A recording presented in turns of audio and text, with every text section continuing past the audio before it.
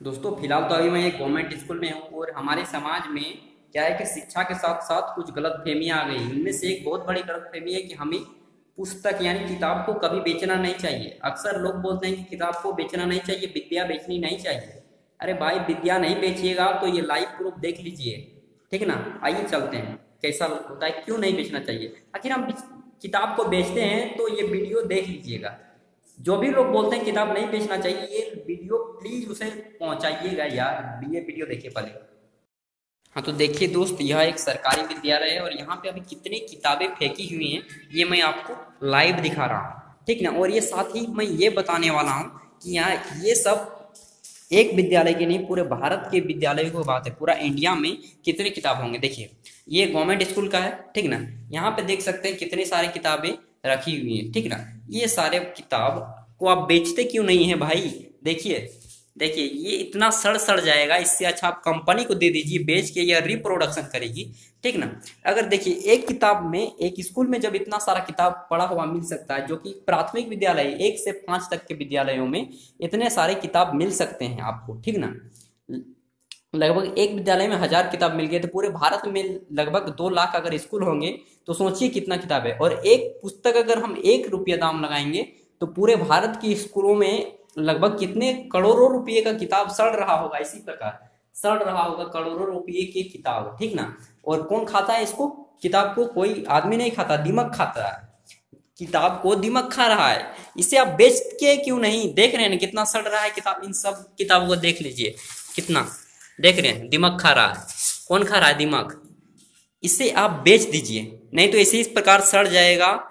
और जो भी बोलता है कि किताब बेचना पाप है तो उसको बोले, सबसे बड़ा पाप तो तू ही है यार। ठीक ना? कि ऐसे लोगों की मंद बुद्धि के कारण हमारा देश जो है, पैसा का सही यूटिलाइज नहीं कर पाता है। सही, दिमाग का सही उपयोग नहीं कर पा रहा। देख रहे हैं, किताब कैसे फेंका हुआ है? इस प्रकार एक भारत में, जब भारत में दो लाख स्कूल हैं, गवर्नमेंट स्कूल तो सोचिए कि पूरे भारत में कितने किताब होंगे। एक स्कूल में अगर एक ही हज़ार, मात्र एक ही हज़ार किताब हम जोड़े तो पूरे भारत में कितने किताब होंगे और एक रुपया दाम लगाइए और जोड़ के देखिए आप।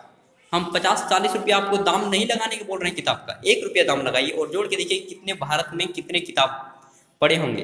इन सबको अगर सरकार बेच देती है तो क्या हमें सस्ते दाम में किताब नहीं मिलेंगे? बोलिए आप ही लोग, सस्ते दाम में क्या किताब नहीं मिलेंगे? ठीक ना? और ये कंडीशन देखिए विद्यालय का। पाँच साल बनाया हुआ, ज़्यादा से दस साल बनाया हुआ नहीं हुआ और ये विद्यालय का क्या कंडीशन है? ठीक है ना?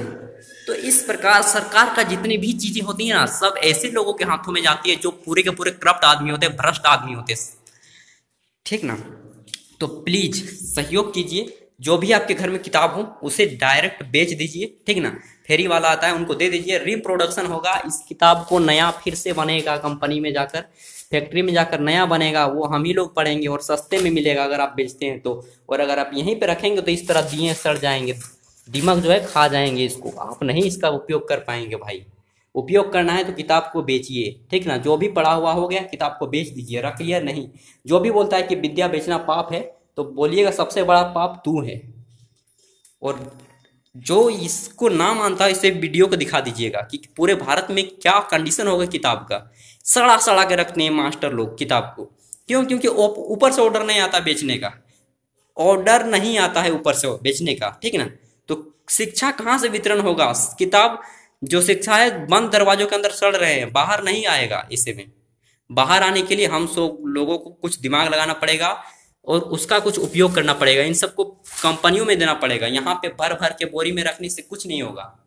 फिर मिलेंगे नेक्स्ट वीडियो के साथ। ऐसे ही वीडियो लाता रहूँगा। ठीक ना? पढ़ाई से रिलेटेड